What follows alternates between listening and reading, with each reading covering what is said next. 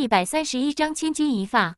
但无论是水剑还是红光，都从黑气上一透而过，没有对其丝毫影响。黑甲鬼将的身影很快再次凝聚而出，黑影一闪，地朝着浪生扑去。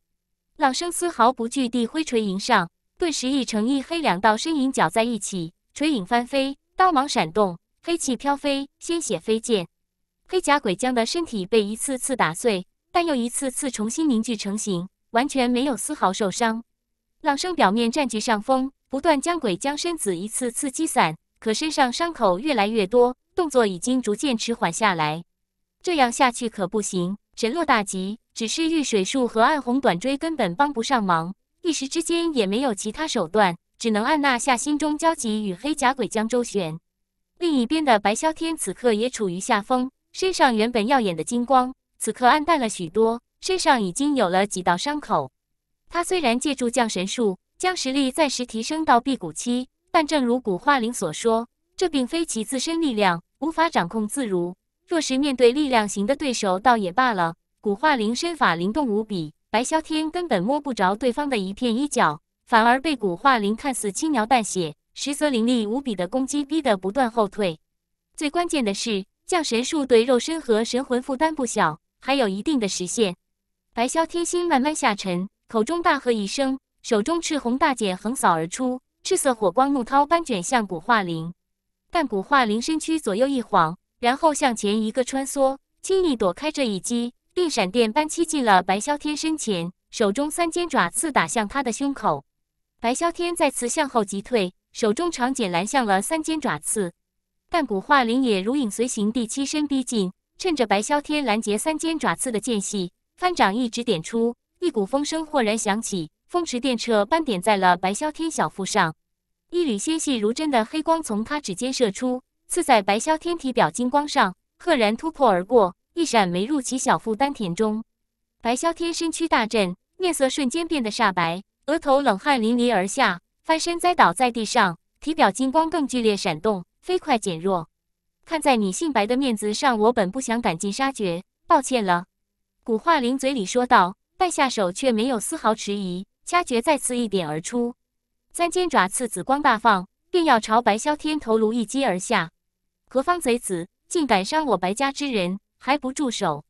就在此刻，一道雷鸣般的声音从远处滚滚而来，这声音异常宏大，震得在场众人耳朵嗡嗡作响。雷鸣般的声音还未落下，一团青光从远处如电而至，似乎也是飞遁符。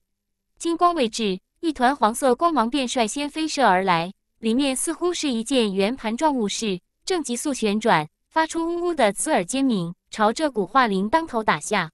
古化灵娇喝一声，顾不得攻击白霄天，三尖爪刺脱手射出，再次化为一个紫金铁手，抓向黄色光芒。那只黄色光芒中的物事突然急速变大，却是一枚土黄色铜钱，转眼间化为房屋大小，狠狠撞在紫金铁手上。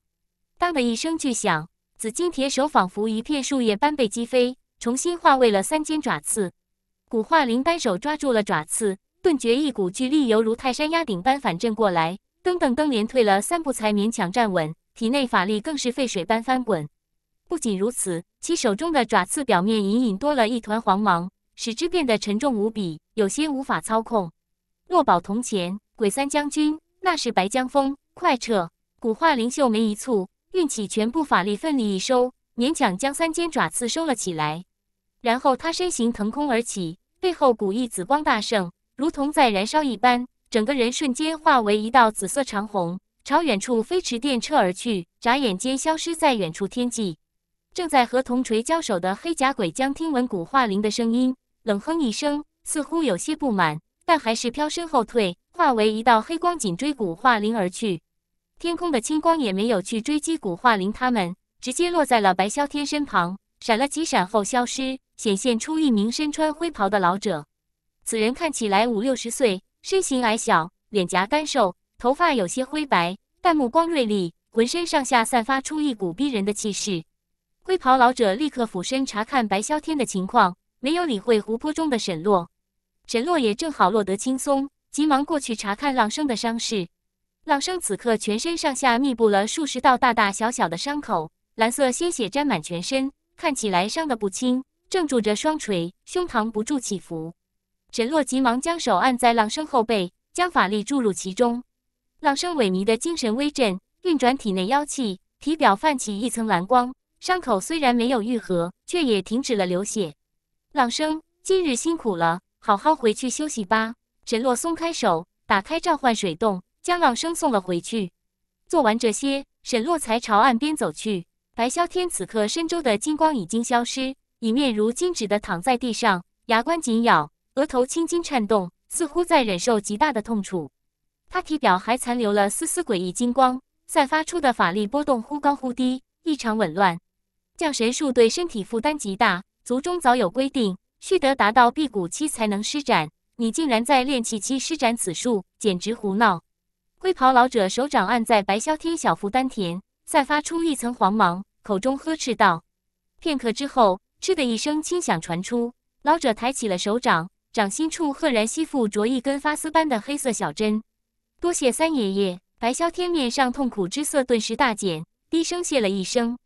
这是玄阴针，暗器名门玲珑宗的独门阴器，专破护体灵光，歹毒无比。刚刚那个女子是玲珑宗的人，不过我观其似乎是并非人族。灰袍老者先取出一个小玉盒，将黑色小针放入其中收好，然后又取出一枚雪白丹药给白霄天服下。三爷爷目光敏锐，那人是个妖族，但并非玲珑宗门下。此事颇为复杂，一言难尽。白霄天面色好看了一些，坐了起来，说道：“既然事情复杂，那就稍后再说。我先助你压下降神术的后遗症。”灰袍老者打断了白霄天的话，手掌按在白霄天后背，上面金光闪耀。白霄天急忙闭上眼睛，运转功法，身上紊乱的气息缓缓平复。第一百三十二章回白家。沈洛眼见二人一时不会收工，便将湖边的包裹重新背在身后，而后就地盘膝坐下，运转功法，恢复法力。足足过了半个时辰，灰袍老者和白霄天才同时停手。沈洛并未沉溺于修炼之中，察觉二人情况，便也停止运功，站了起来，肃立一边。白霄天此刻气色已经恢复大半，身体上残留的诡异金光也消失无踪。三爷爷。刚刚光顾疗伤，给你介绍，这位是沈洛，是我在春秋关内的同门师弟。沈师弟，这位是我三爷爷，也是我白家长老白江峰。白霄天看到沈洛走了过来，介绍道：“见过白前辈。”沈洛行了一礼。沈小友年纪轻轻，修为已经不凡。刚才我远远看了一眼，小友似乎精通通灵控妖之术，真是英雄出少年。你可是刘华成沈家的子弟？白江峰抬手虚扶了一下，上下打量了沈洛两眼，轻笑地问道：“前辈谬赞了，在下乃是春华县人士。”沈洛摇头说道。白江峰默了一声，看着沈洛的目光隐隐闪过一丝异样。今日幸好三爷爷你及时赶到，否则我这条小命就真的没了。白霄天拍了拍胸口，一副心有余悸的样子。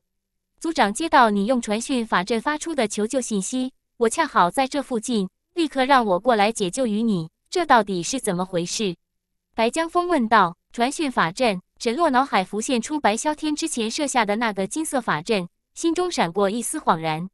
此事说来话长，白霄天叹了口气，当下将春秋关被围，二人侥幸逃出，被古化灵一路追杀的事情简单说了一下。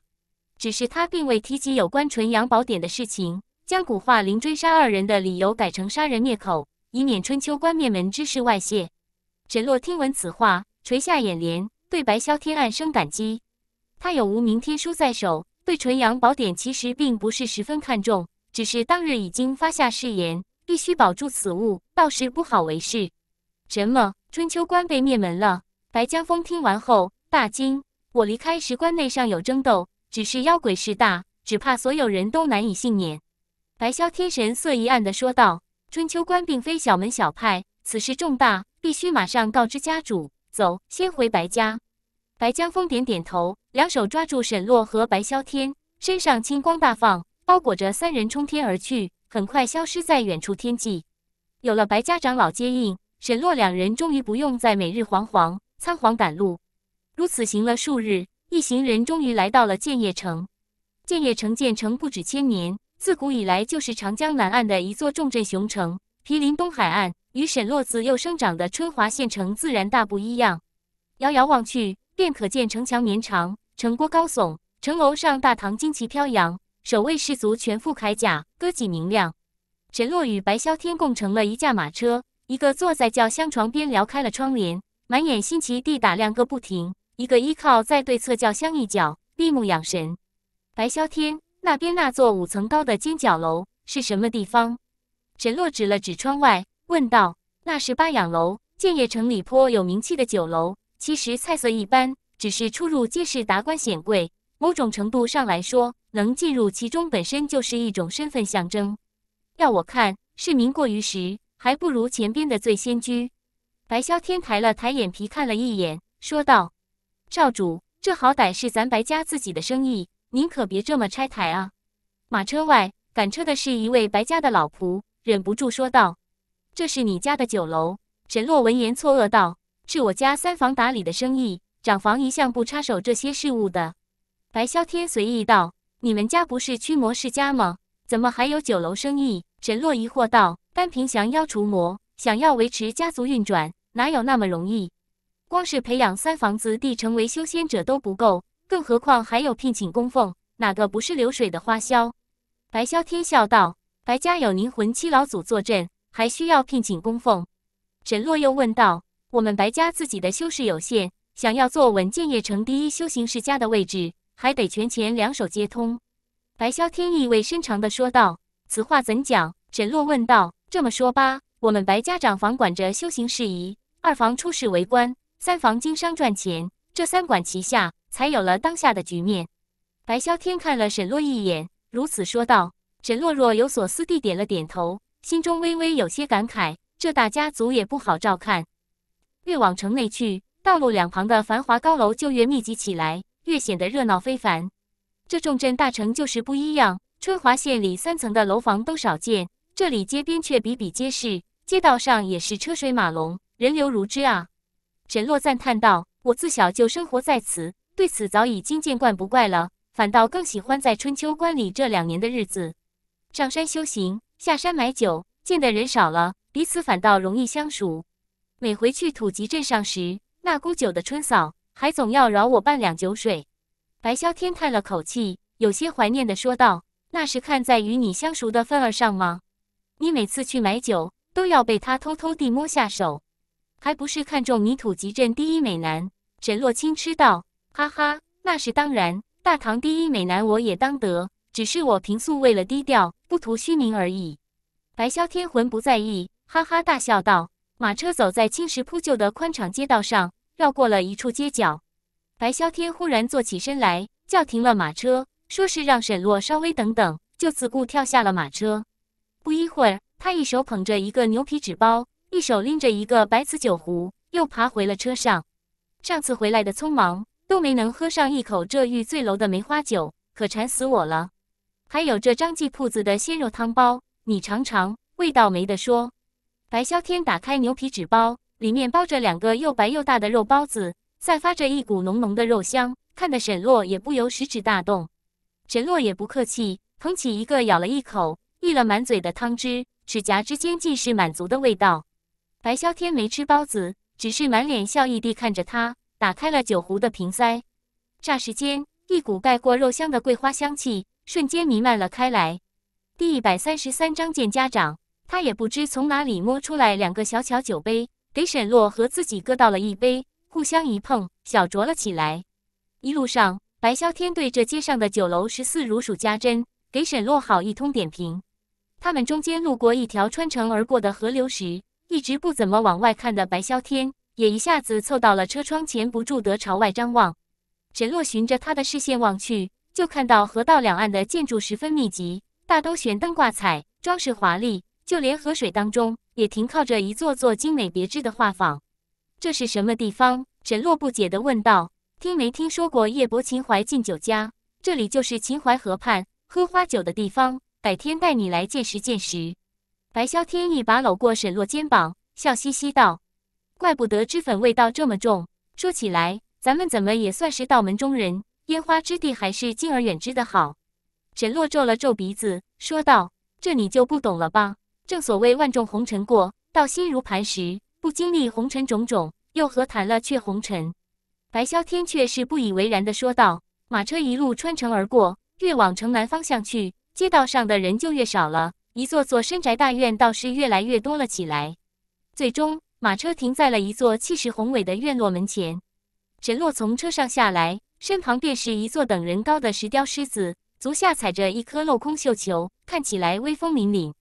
石狮往后一丈开外，有三级石阶，步步高升。”后面紧随着的是一座两丈来高的雄伟门楼，中间正门敞开，两边移门关闭，门楣之上挂着一块巨大牌匾，红底金字写着“白府”二字。沈洛看着朱漆大门上满诗衔环，七七四十九颗金色门钉镶嵌，心底也不由暗暗赞叹。先前似乎早已经有下人通报过，府门之外早已经站了十数个仆从和丫鬟，一个个神色恭谨地等候着他们。眼见白江峰和白萧天到了门口。这些人立马迎了上来，沈洛便也随着白萧天被这一大帮人簇拥着进了府门。一行人走到前院时，一名衣着华贵的白发老妇就在丫鬟的搀扶下迎了上来。其一见白萧天伤势未消的样子，就满眼的疼惜之色，又忍不住好一通责备抱怨。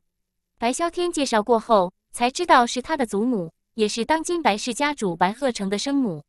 老妇爱屋及乌。对沈洛这个自家孙子的好朋友也是极为顺眼，忙吩咐下去，好好准备一顿丰盛宴席，来好好招待他。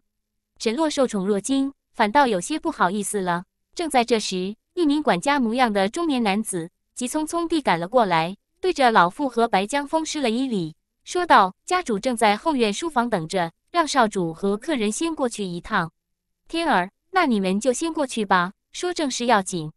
老妇闻言。点了点头，道：“是。”尊儿见过父亲之后，晚点再陪伴祖母。白萧天立即应道：“说罢，他们三人就穿过一重重院落和两座花园，来到了深宅后院。进了书房，沈洛见到了白氏家主白鹤成。本以为应该是个气度威严的中年人，结果却发现竟是一个三十来岁、俊朗丝毫不亚于白萧天的中年男子。见他们进来，白鹤成放下了手中的书籍，从书桌后站了起来。上下打量了一眼白萧天两人，脸上浮现出一抹笑意，说道：“看你们这副样子，路上应该吃了不少苦头吧？幸好危机关头，三爷爷赶到惊走了妖女，让父亲担心了。”白萧天笑着说道。说着，他又向父亲介绍了一下沈洛，直言这次能安全回来，离不开他的相互扶持。你们应对的不错，有这番历练，再过三年修炼，在家闭门造车。白鹤成点头道：“家主，这次情况的确凶险，追杀他们的是一名辟谷期的妖族修士，他们能撑到我赶到，确实不易。”白江峰走上前来，将自己遇到白萧天两人时的情景说了一遍。萧天此番得活，真的是感谢三叔了。白鹤成听得直皱眉，末了冲其一拜，说道：“家主不必如此大礼，萧天本就是我们白家未来的栋梁，身为长辈，这是我应该做的。”白江峰连忙避让开来，没有受这一礼。萧天，这次春秋关变故到底是怎么回事？前因后果，你且详细与我说说。白鹤成看向白萧天，问道。白萧天当即将春秋关那日发生的事情一五一十地复述了一遍，只是言语间却并未提及有关纯阳宝典的事。沈洛随后也补充了一些他知道的事情，只是同样隐瞒了关于纯阳宝典的事。没想到，连春秋关老祖也已经遭难。沈世侄，你就暂且安稳住在白家，之后我自会以白氏家族名义，联合其他修仙宗门彻查此事，务必找出幕后真凶。白鹤城听到最后，神色也逐渐变得凝重起来，说道：“伯父，晚辈私以为这次宗门变故，两个极为重要的角色，一个是背叛师门的王青松，一个是妖族前化的古化灵。若是能抓到他们其一，便可知道事情真相。”沈洛突然说道。此二人的确是春秋关变故的祸根。白鹤成看了沈洛一眼，深以为然的说道：“晚辈拜托伯父查明幕后真凶。”沈洛代表春秋关所有亡魂先行谢过伯父，感谢伯父高义。沈洛谢道，说完深深一拜，前职免礼吧。你一路历险，想必也元气大伤。萧天，你带沈氏直去好好休息吧。白鹤成摆了摆手，说道。两人告辞离开后，白鹤成看向白江峰，问道。三叔，你可有发现这个沈洛有何不妥之处？此人从言行举止看，加入春秋关前多半也是富家子弟。萧天对此人颇为信任，一路上与萧天互相扶持，才能坚持到我去相救。看此人功法并不是小茅山一脉，应该是另有机缘。他也可能是春秋关除了萧天之外唯一活着的弟子了。白江峰闻言略一思量，答道：“正因为如此，我感觉此人并不简单，也许藏着春秋关的秘密。安排人去调查下此人出身来历，要是没有问题，找个机会让萧天与他谈谈，是否愿意以后归附我白家，生为我用。眼下世道越来越乱。”如春秋关这般的小型修仙宗门被灭之事，在整个大唐境内频频发生，我们白家也要加紧积蓄实力。白鹤成点了点头，说道：“我白家如今这种境况下，暂时自保有余。外界越来越多的宗门都对那个天地大劫之事笃信起来，整个修行界表面看起来还算平静安稳，可是地下早已暗流涌动。春秋关一事，我看想要找到幕后黑手，希望并不大。我家也要内部好好盘查一番。”白江峰闻言，建议道：“正是我们如今能做的，便是彻查整个家族，以防有妖族混入。前日老祖谈及天地大劫一事，也同样感到压力不小。”白鹤城缓缓说道：“江峰，鹤城。”就在这时，一个苍老的声音突然在他们二人心头直接响起。第一百三十四章闲聊。老祖、白鹤城两人神色一肃，立马回道：“春秋关之事我已经知晓。”但这并非眼下最紧要的事情。白家老祖传音说道：“白鹤城与白江峰没有说话，只是静静的垂手而立，等着老祖的吩咐。”春秋关已毁，萧天却还没能学全纯阳宝典，将他送至其他真正的修仙大宗去，看看能不能学到更厉害的术法，早日成才。白家老祖继续说道：“请老祖明示去处。”白鹤城知道老祖不会无的放矢，恭敬道。我早年在化生寺还有些香火情，已经差人送去了书信，过些时日应该就能有回复。白家老祖继续传音道：“白鹤成闻言，眼中不禁闪过一丝喜色。化生寺位于长安城附近，乃是大唐境内数一数二的修仙大宗，其门内金刚伏魔大法更是赫赫有名，远非春秋关可比。若是萧天能够进入化生寺修行，那的确是我白家幸事。”白江峰也忍不住说道。你们也不用太过高兴，我与化生寺的那点香火情，也就仅仅够将萧天送进山门。他届时多半也只能从一名外门弟子做起。若想要真正习得高阶术法，还得靠他自己争取。白家老祖的声音再次传来：萧天资质绝佳，就是性子太过随性洒脱了些，影响了修炼。此番磨砺后，他应更加勤奋一些，绝不会白白辜负了老祖的一番悉心栽培。白鹤城如此说道。此言过后，老祖那边便再无言语，只留下白鹤城二人，为了此事欣喜不已。与此同时，沈洛正跟着白萧天一路回了他的院子。刚进院门，一个身着丫鬟服饰的十三四岁伶俐少女就迎了上来，甜甜地叫了一声：“少主绿秀，你这丫头怎么没去大门口接我？”白萧天见状，脸上露出一抹笑意，伸手捏了捏她圆乎乎的脸颊：“我听到少主带了客人回来。”就忙着收拾客房，一时给忙忘了。等记起来时，少主已经被家主叫去了，我就又回来等你们了。少女揉了揉脸颊，说道：“这个鬼精的丫头叫绿秀，从六岁起就伴在我左右。虽说是侍奉于我，不过我一直将她当小妹妹看的。”白萧天说罢，也将沈洛介绍了一下，毫无少主架子。见过沈公子，绿秀闻言，立马冲沈洛欠了欠身，叫声沈大哥就行。沈洛摆了摆手，笑道：“少主，沈大哥，你们一路舟车劳顿，肯定很辛苦吧？房里已经备好了药浴，你们快去泡上一泡，解解乏。”绿秀引着两人到了屋前，说道：“你不说还好，这么一说，倒真觉得浑身不自在了。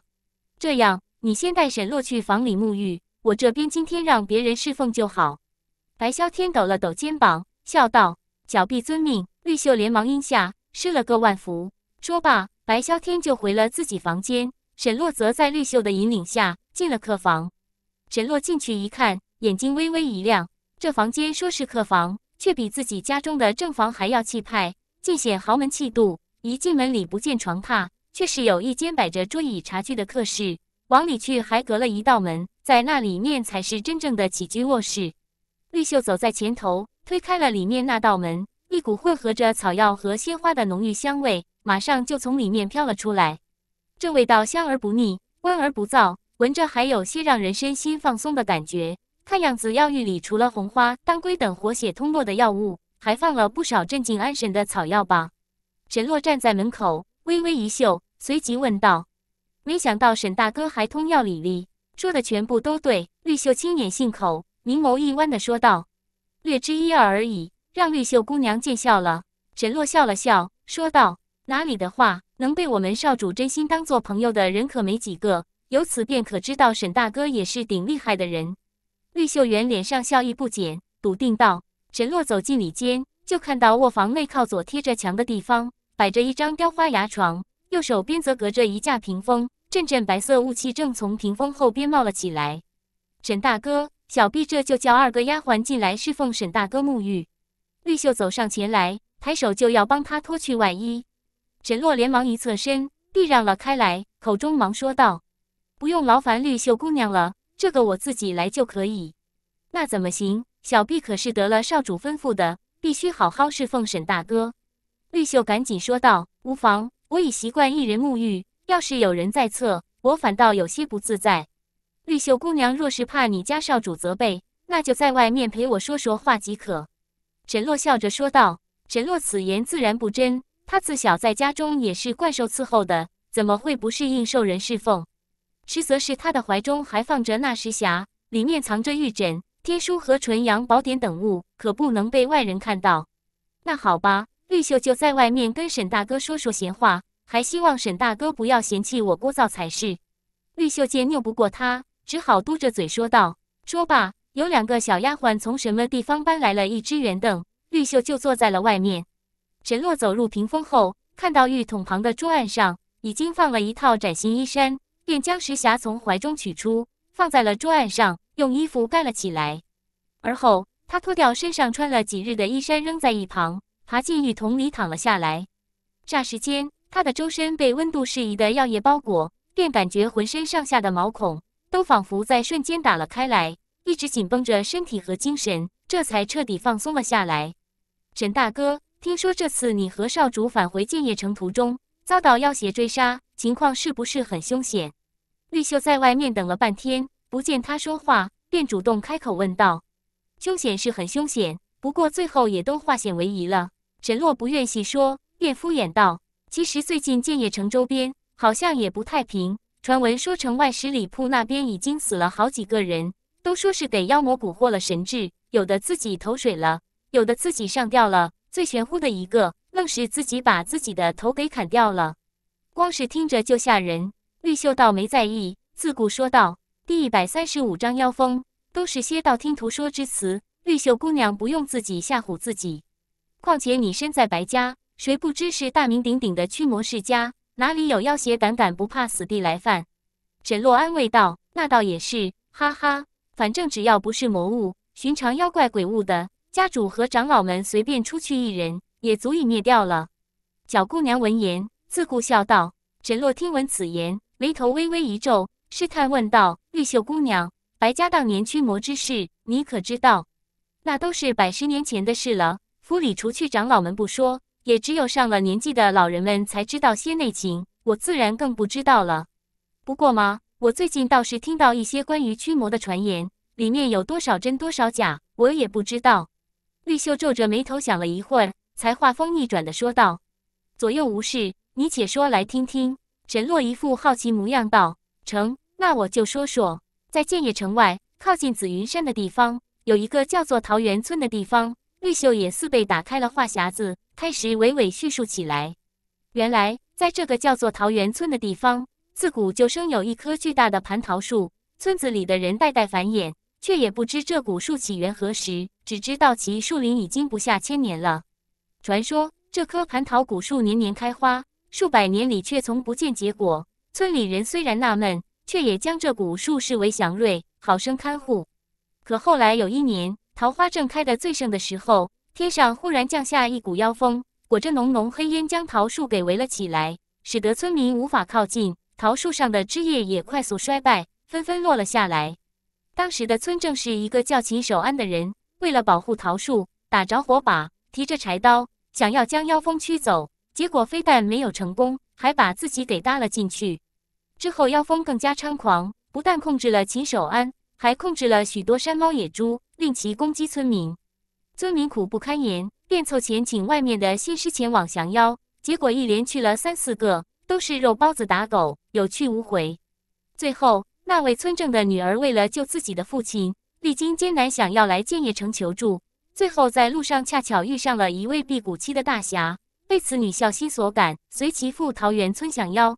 结果却发现那妖风似乎是修为不低的魔物。那村正秦守安和许多山野活物都已被其魔化，变得十分嗜杀残忍。那位大侠很快就陷入了苦战。最后总算救下了整个村子，但却不知所踪了。那妖风呢？可曾被斩杀？沈洛听完之后追问道：“传闻里没说，不过既然桃园村自那之后就没了魔幻，想来应该是斩杀了吧？”绿秀想了想，说道：“沈洛暗自沉吟，却隐隐觉得那妖风极有可能并未被真正斩杀，只是具体情况如何，恐怕也只有那位大侠一人知道了。”绿秀说完之后。又跟沈洛闲聊了些其他传闻轶事。不多时，白霄天前来催促，说要开宴吃饭，才止了两人的谈论。沈洛换好崭新的圆领青袍，将石匣又揣回了身上，这才跟着白霄天前去赴宴。入夜，沈洛本打算取出那枚玉佩，查看一下里面记载的纯阳宝典功法，可回到房内后没多久，就困倦袭来，一头倒在床上，沉沉的睡了过去。他昏昏沉沉地，也不知睡了多久，忽然感到身上一阵凉意袭来，身子一个哆嗦，下意识伸手往身旁一抓，想要去拉被子，结果被子没抓到，手里却摸到了一根冰凉硬物。沈洛先是皱了皱眉，但紧接着就猛地睁开了眼睛，意识也瞬间清醒过来。他猛地坐起身来，身边立即一阵叮当作响，却是几根短枪从身上掉落下去，相互碰撞着滚落在地。沈洛低头一看，正是梦游迦兰四十四无铜领处得来的那些火焰短枪。他马上反应过来，自己又入梦了。哎呦，救命啊！不等他弄清楚是怎么回事，身后就传来了一阵阵凄厉的哀嚎求救声。他猛然回身望去，就发现身后几丈开外的地面上，赫然伫立着七八根粗壮的青铜柱子，上面铜锈密布，缠绕着一根根黑气凝聚而成的绳索，一个个青面獠牙。模样狰狞的鬼物被这些绳索捆绑着，固定在铜柱上。不知为何，这些鬼物看起来都是一副蔫头耷脑的样子，其中还有些缺胳膊少腿的，看着竟莫名有些凄惨。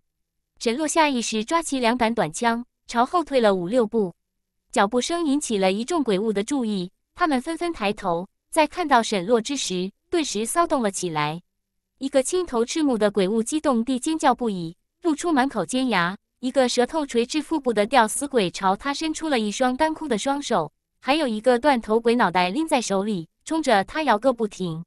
沈洛一阵毛骨悚然，稳了稳心神，视线再朝周围一看，才发现自己身下，包括那些青铜主子在内的区域，赫然是一座占地面积不小的圆形祭坛。祭坛中央填着夯土，而四周却层层叠叠、密密麻麻地堆叠着一座座用人头骷髅垒起来的白骨金棺。全都面朝祭坛内映绿光，看得沈洛一阵头皮发麻。他抬头望了一眼，头顶天空阴沉沉的，一层厚厚的黄云将天幕压得极低，气氛诡异且压抑。而祭坛四周却地势开阔，根本不见半点活物迹象，看起来俨然是一片死寂荒野。沈洛，沈洛！就在这时，沈洛忽然听到身后传来一阵呼喊之声，他忙回头看去，就见一个马头人身的赤红色鬼物。正一边张着长长的马嘴，口吐人言，大声呼喊着自己的名字，一边激动地挥舞着仅剩的一根独臂。沈洛心中大惊，实在不知道这鬼物为何会知道自己的名字。他又仔细打量了一下这马面人身的鬼物，才发现其身上所穿服饰与旁边其他鬼物不同，那样是看着竟然有几分像衙役穿的官衣。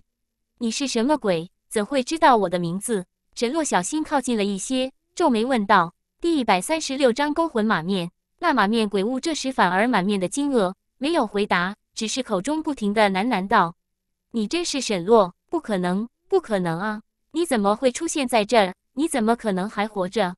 你在胡言乱语什么？”沈洛被他这没头没脑的话语惊得着实不轻，口中斥道：“快，快放我下来！我有话对你说。”马面鬼物总算回过神来，忙激动地喊道：“沈洛略一犹豫后，感觉这马面鬼气息一点威胁没有，当即体内法力运转而起，顺着经脉流入了手上的短枪。随着短枪腾的一下升起一圈火焰，他这才发现自己丹田内的法力竟颇为充足，显然保持了他之前修炼无名天书三层的状态。他一步上前，抬起短枪，朝着捆在马面鬼物身上的黑气绳索上猛地一挑。一层火焰便如刀锋一样向上一划，将黑绳斩断了开来。马面鬼物从铜柱上掉落下来，一个踉跄地单膝跪倒在了地上，脑袋后面那一头白色鬃毛披散了开来。他才刚抬起头，一杆火枪的枪尖就抵在了他的眉心。说：“你怎么会认识我？”沈洛厉声斥道。马面鬼物脸上神情古怪，正想说话时，身下祭坛忽然一下一下地剧烈震动了起来。那节奏就好像是有什么庞然大物正朝这里移动了过来。旁边那一座座白骨金棺上，绿色的鬼焰也随之一颤一颤地闪动着。沈洛只觉得心神也随着脚下的祭坛不断地震颤着，正不知发生了何事，突觉得后背一阵的发寒，没来由的有些心慌。紧接着，他就听到从震动传来的方向上响起了一阵阵黑山黑山的呼喊声，那声音忽远忽近，有些飘渺不定。有时像一人高呼，有时又像万人呼唤，实在是说不出的诡异。糟了，是黑山老妖！马面鬼物单臂一撑，从地上爬了起来，口中惊叫了一声。沈洛也没心思再去逼问马面鬼物，抬头循声望去，就看到远方震动传来的方向上，隐约有一座黑乎乎的巨山浮现而出。他即便不清楚黑山老妖是什么妖怪，单看眼下这阵仗，就知道肯定不是好对付的。于是急忙将地上所有短枪拾起背在身后，转过身一阵小跑，一下子跃下了祭坛，便打算尽快远离此地。哎，沈洛，等等我！马面鬼物高喊了一声，也跃下了祭坛，紧追了下来。沈洛并没有理会那马面鬼物，只是自顾自地往前狂奔。这一人一鬼就这般一前一后地朝着与那黑山老妖相背离的方向狂奔而去。然而还不等他们跑出多远，沈洛就听到身后传来一阵狂风呼啸的声音，忍不住回首望去，心中顿时一凛。只见祭坛上方的黄云忽然急速涌动起来，里面竟然浮现出一张巨大无比的扭曲鬼脸。那鬼脸面目不清，只能隐约看到模糊的五官轮廓。其嘴巴位置突然大张，竟直接裂开了一道横跨整张脸颊的巨大口子，里面黄云翻腾滚动，传出一股摄人心魄的吸力。紧接着，沈洛就看到巨脸下方的整座祭坛开始剧烈摇晃，陡然间拔地而起，在那些鬼物凄厉的嘶吼声中，连同那十座白骨金棺一起飞入了巨脸口中。杰杰，休想逃！天空中传来一阵古怪至极的笑声，那巨脸却是蓦的一阵倾斜，从垂直俯视大地的模样，变成了斜视向前，其四周黄云忽然变得漆黑无比，化作呼啸狂风，朝着沈洛他们追了过来。沈洛心底暗骂一声，却也不知如何是好，只能拼命往前狂奔。沈洛，没用的，这黑山老妖是出鞘期的鬼王，你我这样根本逃不掉的。马面鬼在后面大声吼道。其话音刚落，他们头顶上方的黄云就突然转为漆黑之色，当中云气剧烈翻涌，一只巨大无比的黑色巨手就从中一探而出，如五指山岳一般倾压而下。沈洛仰头一望，只见那巨手之大，当真已然遮天。以他们的速度，根本跑不出被其覆盖的范围，再继续前冲已根本毫无意义。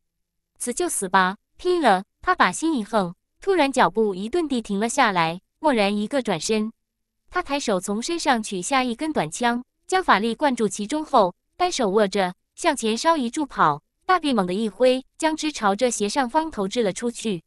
短枪在法力注入的一瞬间，表面腾起一圈赤红火焰，带着一阵破空之声。如箭矢一般射向了那只黑色巨手，轰的一声爆鸣，火焰短枪在射中巨手的瞬间，竟是直接爆裂了开来。然而，那小小的短枪与遮天巨手相比，实在太过渺小了。即便爆炸开来，也只像是夜幕里亮起的一小团烟花，一闪过后，随即便消散开来。黑色巨手甚至连停顿一下都未有，仍是不断朝下方压迫而来。没用的，挡不住。马面鬼物与沈洛并肩而立，连连摇头。沈洛眉头紧皱，又从身上取下一杆短枪，再次注入法力，化作火焰短枪的破空扔去。一枪飞出，接着又是一枪，呼啸之声连连作响。他竟是一口气，接连将剩余六杆同为法器的火焰短枪当做普通兵器一般全都投掷了出去。他虽然还无法真正驾驭法器，但凭借蛮力和法力强行灌注发挥出的威力，还是远远超过一般武器。轰轰轰！高空当中爆鸣之声不断炸响，一次次火枪爆炸的威力层层叠加，终于从一团小烟花汇聚成了一大片巨大火海。沈洛顾不得看结果，在袖中稍一摸索后，又把那根尺许来长、散发着逼人寒气的小枪摸出。他双手紧握小枪。体内无名功法急速运转，一身法力从丹田中毫无保留地狂涌而出，几乎全部灌注进了其中。那柄金银小枪上顿时白光大涨，竟是直接长大成了一杆丈许来长的冰矛。去！沈洛口中暴喝一声，再次用尽全身气力，将冰矛朝斜上方投掷而去。第一百三十七章三恨鬼门关。冰矛划破长空，留下一道白白的痕迹，很快就与巨手遭逢。其却没有如火焰短枪一般直接崩碎，而是破开了巨手外的一层防护，扎在了手掌正中。紧接着，高空中卡卡之声大作，一层白色寒气竟是直接以冰矛为中心蔓延开来，将黑色巨手包裹进来其中。但黑色巨手只是体表绿色鬼焰一卷，就将寒气尽数扫荡而空，丝毫没有停顿的继续向下缓缓压来。沈洛见此，面如纸灰，知道免不得又要死上一回来。而且以黑山老妖的恐怖实力，即使其再次复活，逃走的希望也异常渺茫。罢了罢了，还是我来送你一程吧，也不枉你我认识一场。就在这时，旁边的马面鬼物却突然长叹了一声，接着张口一吐，舌尖红光一闪，从中飞出两朵颜色鲜红的小花，并将其中一朵一把扔给了沈洛。这是你要做什么？沈洛下意识接过红光，一阵愕然。一马面鬼还不如自己的实力，难道还有办法找出一条逃生之路来不成？马面鬼物已经将手中红色小花往口里一扔，直接吞咽了下去。紧接着，他仰天一声长啸，身上忽然爆发出大片醒目红光，浑身气息更是狂涨不停，仿佛永远没有天际一般，让旁观的沈洛立刻倒飞出去十几丈外，只觉头皮发麻，浑身汗毛倒竖，仿佛面前面对的不再是一只无名小鬼。而是一头擎天巨兽般的鬼物。咦，你是？高空中忽然传来一声诧异的轻咦，正压下的巨手竟在空中顿了一顿。马面鬼物却根本不加理睬，反而蓦地从怀中一掏，手里就多了一支尺许来长的黑色毛笔，朝着头顶上方虚空一点。黑色毛笔好似金铁锁住，笔杆之上刻画着一圈圈密集符文，在马面鬼物点出的瞬间，笔尖上亮起一片刺目红光。一枚枚红色符文从中飞射而出，沈洛就看到头顶上方所有符文汇聚一起，竟好似凝成了一篇文章。只是当中文字他认不全，只能隐约看到河鬼、朱邪等字迹。符文篇章一成，顿时化作一道巨大红光，直冲入空，在阵阵雷鸣般的轰隆声响中，竟将黑色巨手打得节节倒退，直至缩回了阴云当中。沈洛看得目瞪口呆。勾魂笔、和鬼师、勾魂使者。是你勾魂马面，远处天空当中传来黑山老妖又惊又怒的声音，回荡不已。勾魂马面，沈洛闻言心中一阵惊疑。那马面鬼物并未理会黑山老妖的怒吼，收回手中黑色大笔，朝着虚空中猛地一划，其笔尖之前蓦然间红光大放，原本空无一物的虚空，竟是直接给这道红光撕开了一道三尺宽、丈许长的狭长裂隙，从里面溢出阵阵灰白雾气。沈洛还没弄清楚怎么回事，就看到那马面鬼物突然冲着自己咧嘴一笑，紧接着一起脚直接踹在了他的身上。他被踹得身形一个踉跄，直接倒退着跌入了那道缝隙当中。那马面老鬼和他手中的黑笔同时亮起雪亮红光，两者竟是同时如齑粉一般消散了开来。沈洛耳中传来马面鬼物最后一声言语：“花枯人灭，一盏茶时间。”下一瞬，虚空缝隙随之消失不见。只有黑山老妖暴跳如雷的怒吼之声还在虚空中回荡，只是那声音也越飘越远，直至消失不见。沈洛则在一阵天旋地转后，只觉眼前一花，就紧抓鲜红小花的出现在了另一个地方。此刻他被红花上散发出来的红色光芒紧紧包裹着，站在一片有淡淡灰白雾气缭绕的陌生地方，而身前不远处伫立着一座高于十丈的巨大牌楼，通体漆黑，透着股子邪气。原本应该有三间四主七楼，只是不知为何左边已经坍塌了一半，只剩下三柱两间还算完好。其顶部飞檐下皆悬有一个人头大小的铜铃。可古怪的是，那铜铃明明在随风摇晃着，里面却没有半点声音传出。沈洛眉头紧蹙，仔细朝着牌楼的中央打量过去。这一看，他不禁倒吸了一口凉气。只见匾额位置上赫然镌刻着三个古篆大字：“鬼门关，鬼门关。”这不是阴冥之地吗？我怎么会到了这里？沈洛心中无比震惊，脑海中不觉涌现出不少民间关于这地方的传言。这可是人死后才会来的地方啊！更重要的是，勾魂马面为何会认识自己，甚至不惜牺牲自己也要送他走？他在朝那牌匾上一看，确定无疑，上面写着的的确是“鬼门关”三个大字，而且在那三个大字下方，还赫然有三个黑红血迹写成的巨大恨字。恨恨恨三个恨字连成一排，每一个都是狂草笔法，越往后去笔势越肆意癫狂，似乎书写之人的恨意也越来越重。字体下沿被血液流淌出一条条蜿蜒血线，看着越发狰狞可怖。先是勾魂马面，现在又到了鬼门关，难不成还有黄泉路？沈洛心下疑惑，定睛朝牌楼后方望去，只见牌楼后方竟然当真有一条黄沙铺就的道路，蜿蜒伸向了远方。隐没在了灰白雾气当中，而在道路两旁，赫然零零散散地绽放着一株株颜色鲜红的花朵。此花花萼单生，顶上花絮如伞，花瓣反卷如龙爪，色泽如鲜血欲滴，赫然与他手中的一模一样，全都是彼岸花。传说去往阴冥的黄泉路上，生有一种幽冥之花，名为彼岸，生生世世花不见叶，是黄泉路上唯一的风景。真的是黄泉路？沈落目光一变，喃喃说道。就在这时，头顶上方的虚空之中，忽然响起一声沉闷轰鸣，阵阵风声从高空传来。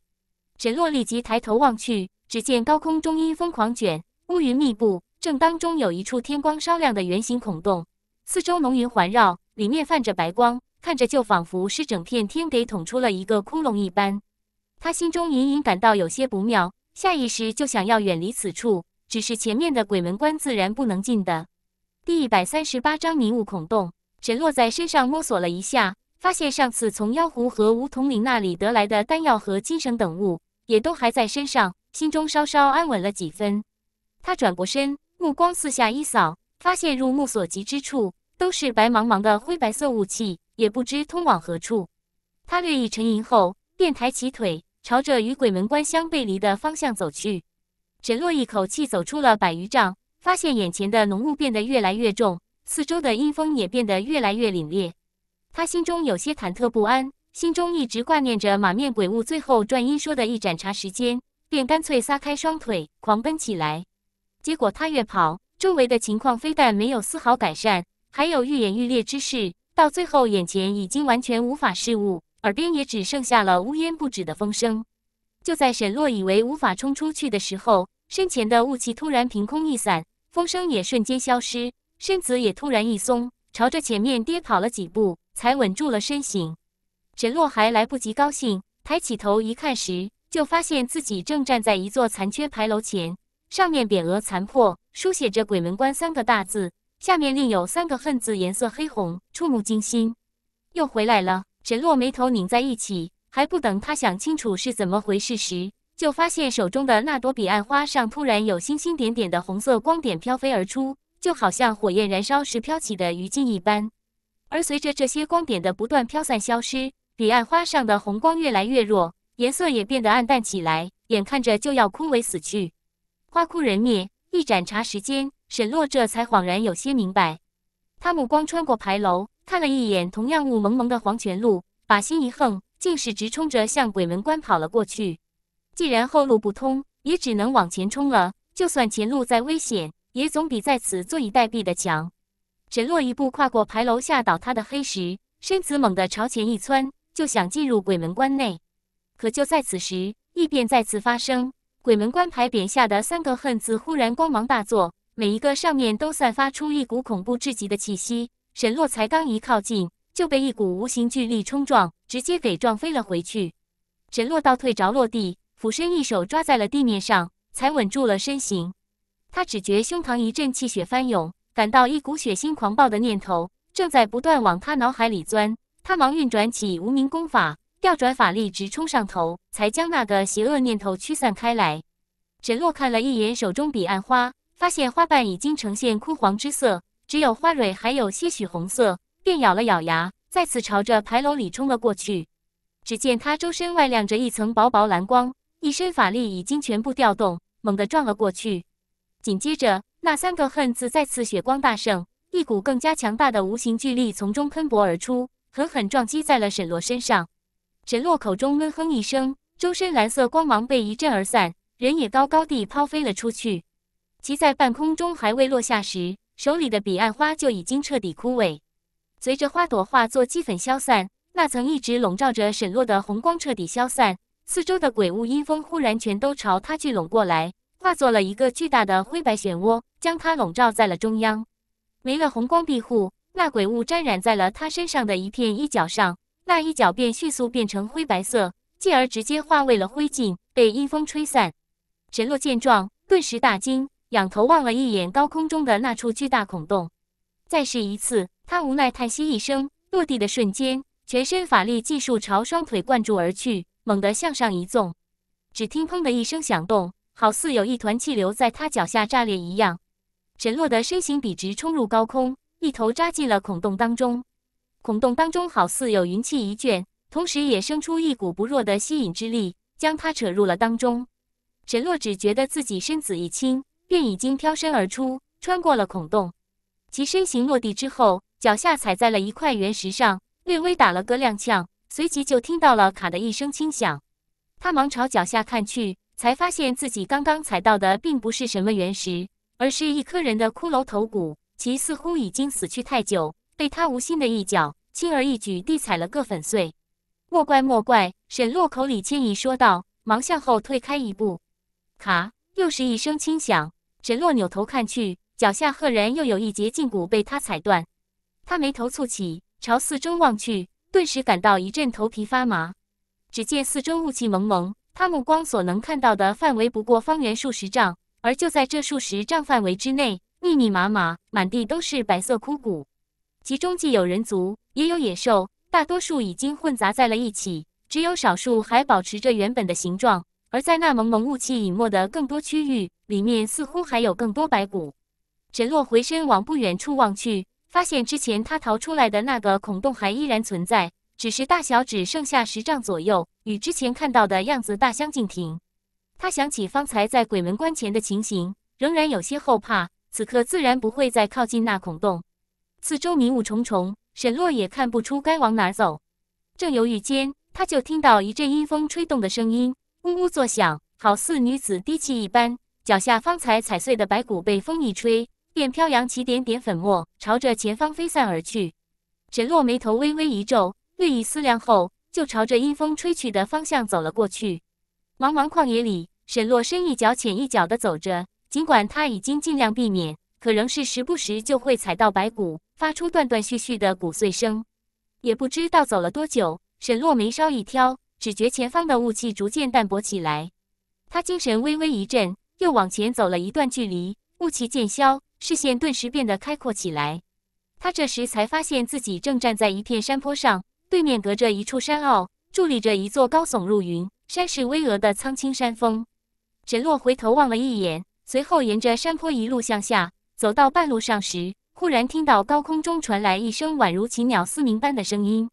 第一百三十九章抵御妖袭。他忙仰头望去，就看到高空中盘旋着一只巨大的飞鸟，双翼伸展开来，足有三四丈之宽，浑身羽毛乌黑发亮，身上散发着淡淡的黑色雾气。似乎是一头妖物。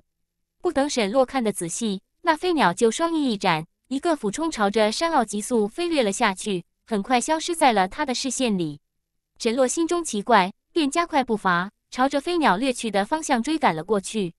他一路往前追了百十来步，忽然听到前方隐约有野兽嘶吼和阵阵哀嚎的声音传来。有人！沈洛暗道一声，身形一纵，加速朝山坳冲了下去。越往近处。各种哭嚎之声和兽吼声就越大。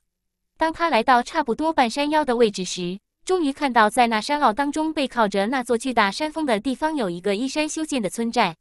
村寨规模看起来不大，周围却好似建着一圈圈防御工事一样，以一根根粗壮的树木削尖了顶端，并排扎在一起，竖成了坚实的木栅栏墙。这些木栅栏围起的高墙足有两丈来高，里面贴墙建着一圈高台，上面每隔几步就站着一个身穿麻布粗衣的人族青年。正手持弓箭和长矛，不断向外射击和刺杀着。木栅栏外有十几头身高与常人无异、体魄却比常人健壮十倍的灰毛猿猴聚集在一起，其中几头正手抓着石块，朝着栅栏墙头猛烈投掷。每一次落石都会发出砰然巨响，力道之大令人啧舌。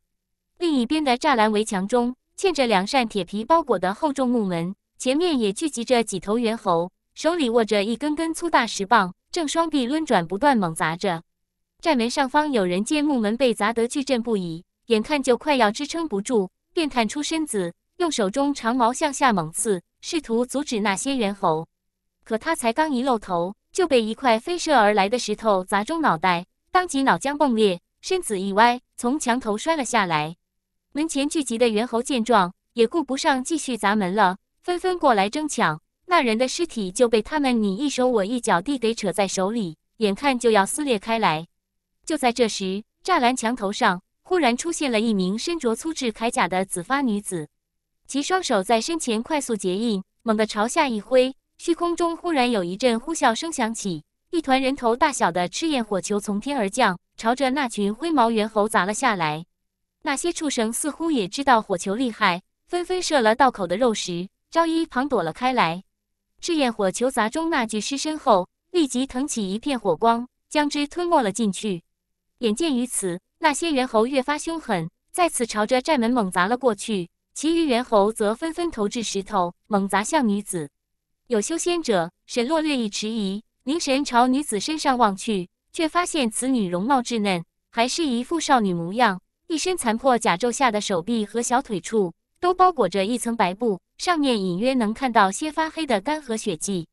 就在这时，一声禽鸟嘶鸣的声音忽然在上空响起。沈洛举头望去，就看到高空中盘旋着三四只和他之前所见一模一样的巨大飞鸟，在村寨上空环绕着飞了一圈后，突然纷纷低掠而下，越过木栅栏，朝着村内扑了下去。栅栏高墙上的青年们见状，纷纷挽弓搭箭，朝他们射出一根根羽箭。箭矢破空而去，速度看似不慢，可在飞抵那三只巨鸟身前时，被后者双翅带起的狂风一卷，就立马失了准头，竟是没有一根能够射中。只见那些巨鸟飞落村中，直接将一座座土坯茅屋撞塌开来，或是会啄，或是爪钩，将藏匿在屋中的老幼之人抓出。一时间惊叫声、惨呼声连连。村中道旁，一些衣不蔽体的干瘦之人，呆坐在坍塌的屋墙边。也不躲避，也不动弹，深陷的眼窝里一片浑浊，目光当中全然没有生气，仿佛已经是一具死尸了。也有那蹒跚老妇，脚步虚乏，跑开两步后就扑倒在地，连挣扎着起身的力气都没有，一双眼睛早已干枯，连泪水也流不出了。三只巨鸟飞出了栅栏外后，立马张口松抓，将抓来的老弱妇孺扔下地面，摔得头破血流。那些灰毛猿猴见状。纷纷扑抢上来，很快就将这些人撕裂吞食了个干净。这些畜生吃过人后，似乎更加兴奋，更加卖力地攻向村寨。而那些巨鸟也纷纷一扇翅膀，又朝着村内扑了过去。其中一只巨鸟飞过了村寨中央的一间茅屋上空，只是双翅一扇，卷起的狂风就将整片屋顶全都掀飞了开去。屋内传来一片惊叫之声，里面竟然有十三四个八九岁上下年纪的孩童。全都瑟瑟发抖，低挤在屋内一个墙角，脸上挂满了泪水，眼睛里也全是恐惧之色。巨鸟见状，兴奋的一声尖鸣，立即朝着屋内的孩子们俯冲了下来。这时，一个满脸皱纹的白发老妪忽然从旁冲了过来，手里攥着一根木头扫把，像老母鸡护崽一样，将那些孩子挡在了身后。巨鸟双爪如钩，飞落而下，眼看就要抓住老妪。轰的一声巨响。一枚赤焰火球突然从高空斜坠而下，砸在了巨鸟脊背上。巨鸟哀鸣一声，就被打得斜飞了出去，直接撞塌了一面墙壁，被碎石掩埋了进去。栅栏墙头上，那名紫发少女脸色苍白，缓缓收回了手，冲着墙角那边的老妪和孩子们挤出了一个笑脸。只是她的笑容还没完全展开，后背就被一块急射而至的石头砸中，整个人一个不稳的从墙头上扑飞了出去，跌落在地上，吐血不止。墙头没了他帮忙驻守，那些青壮立即被猿猴的石头死死压制，根本连头都不敢露。而寨门前的几头猿猴则砸得更加起劲。那两扇饱经风霜的寨门终于支撑不住，眼看就要崩裂开来。此门一开，这里必定寨破人亡。紫发少女强忍着浑身剧痛，挣扎着站起身来，想要往寨门那边赶去。此时的她受伤不轻，走路也有些不稳，丝毫没注意到身后被他打翻的巨鸟已经从碎石堆中站了起来，双翅一抖，就朝着他飞扑了过来，一只尖喙如锥子般朝他脑后刺了过来。第一百四十章长寿村。千钧一发之际，少女模糊的视线里忽然出现了一个陌生男子身影。其身形高高，越过栅栏高墙，手里抓着一杆长矛，朝着她猛地投掷了过来。少女下意识就想躲避，却发现那长矛飞射速度比他预料的要快得多，嗖的一下便贴着他的耳尖射了过去。他的身后传来一声短促尖鸣，那只巨鸟的脑袋被长矛贯穿，直接钉死在了地上。少女抹了一把脸上血迹，才看清那人的模样，竟是一个面容清秀的青年男子。男子自然正是沈洛。他看着眼前少女，明明浑身凄惨的模样，还在努力朝自己挤出一丝笑意，心中大为触动，热血上涌。你可以休息会儿了，那些畜生交给我了。沈洛冲其说了一句，话音刚落，另外一两头巨鸟见同伴身死，凶性大发，立即朝着沈洛俯冲了过来。两对钩爪一左一右，同时朝他的脖颈上抓了过来。沈洛也不客气，两手分别迎着巨鸟的钩爪探了过去，一把将它们抓在了手中，继而运转法力，猛地一转身，将之狠狠灌在了地面上。不等两只巨鸟挣扎起身，沈洛已经飞身跃起，两只脚重重踏在鸟头上，将之毙命。而后他又身形一转，朝前助跑几步，体内法力运转，身形猛地一跃而起。再次跨过高墙，落在了村寨外面。